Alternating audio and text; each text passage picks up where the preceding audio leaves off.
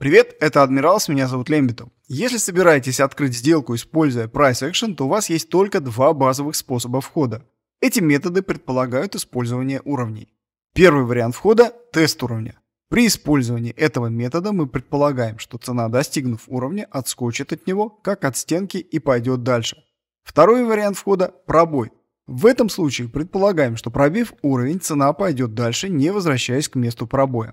Частный случай пробоя – пробой с откатом цены к пробитому уровню. Прежде чем двинемся дальше, небольшая загадка. Ответ на нее важен для лучшего понимания работы уровней.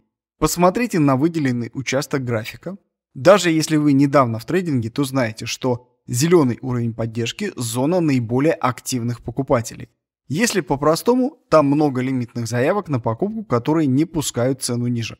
Но вот цена пробивает уровень, и мы видим, что там, где была плотность заявок на покупку, появилась плотность лимитов на продажу. Вопрос в том, почему после пробоя в зоне уровня трейдеры выставили большое количество заявок на продажу. А то, что они там есть, мы видим из реакции цены на уровень.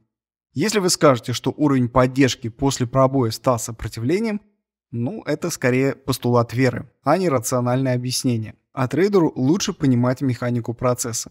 Поэтому, если знаете, почему так происходит, напишите в комментариях. Если не знаете, пишите на почту, и я объясню на бесплатном индивидуальном занятии, как все работает. Вы уже, наверное, догадались, первый паттерн – вход на откате к уровню. Сейчас разберемся, как определить заранее место для входа. Тренд нисходящий, отмечаем уровень, после пробоя, к которому ждем откат. При этом нас не интересуют разные варианты восходящего движения, потому что это против тренда. Создаем план сделки. Он не должен быть слишком сложным. Чем сложнее план, тем менее вероятно его исполнение. Тренд нисходящий, значит работаем в короткую. Понимание схемы движения цены позволяет рассчитать сделку в конкретных цифрах. Так как входить будем на откате, значит лимитная заявка sell limit будет стоять чуть ниже уровня, а стоп-лосс немного выше уровня. Первая цель должна давать прибыль минимум в два раза больше, чем риск, иначе торговля будет пустой тратой времени, приносящей убытки. То, что сделаем, будет предварительным планом, который, если необходимо, пересчитаем. Главное, чтобы к этому моменту у нас была точная цифра цены, лимитной заявки, стоп-лосса, риска и цели. Плюс соотношение прибыли к риску допустимо не менее двух к одному. Только имея эти цифры на руках, будем готовы к сделке. Как только цена подтверждает план, пробивая уровень красной свечой, мы практически в шаге от сделки. Осталось дождаться подтверждения.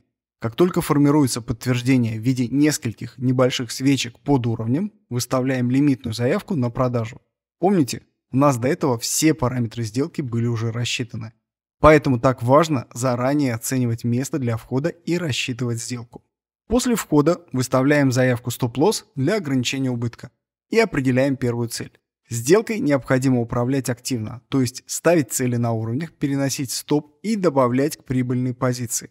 Я это объяснил для того, чтобы было понятно, как рассчитывать сделку. Но вы спросите, а как понять, как к этому решению прийти, оценивая поведение цены в текущий момент? Сейчас покажу, но сначала небольшое предупреждение о риске. Подходите к торговле ответственно, трейдинг связан с высокими рисками для вашего капитала, а доходность не гарантирована. Восходящая тенденция показала слабость, не обновив максимум и пробив линию тренда. Причем пробита как зеленая, так и синяя линия тренда, построенная на старшем таймфрейме. Есть серьезная предпосылка к смене тенденции. Помните? Пробой линии тренда не говорит о развороте. О развороте говорит только совокупность фактов. Итак, у нас есть предпосылка к смене тенденции, но на пути стоит уровень поддержки. Цена реагирует на уровень, но говорит ли это нам о возобновлении восходящего движения? Пока нет. Пока видим только остановку на уровне и откат равный 100% от движения. Причем сложно сказать, это откат или начавшееся новое движение. Подсказка будет в реакции на уровень поддержки. Пойдем выше, вероятность восходящего движения сохранится, хотя и слабая. Пойдем ниже, Тенденция поменялась. Спросите, можно ли здесь покупать? Думаю, не стоит. Лучше дождаться либо реакции на уровень поддержки, либо увидеть реакцию на уровень сопротивления и уход выше. Тенденция вниз подтвердилась. Цена ушла ниже уровня поддержки и тестирует новый уровень. Можно ли от него искать вход лонг? Нет, нельзя. Потому что, во-первых, тренд вниз А во-вторых, около уровня цена формирует треугольник. Поэтому входить здесь правильно на пробой уровня в шорт. У нас есть общий план сделки, обсчитаем числовые параметры. Начнем с цели. Оценим диапазон треугольника, отложив его вниз. Получим первую цель. Следующий шаг – рассчитаем заявку sell stop для входа на пробой. Она должна стоять чуть ниже уровня. Обязательный шаг – выставить стоп. Стоп за уровень. Оценим потенциал прибыли к риску. В нашем случае получилось почти 3 к 1.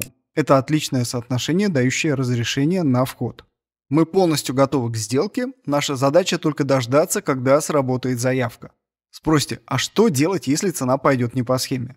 Здесь все просто. Если прогноз не подтвердился, не работайте, а создаете новый план, учитывая уже текущую ситуацию.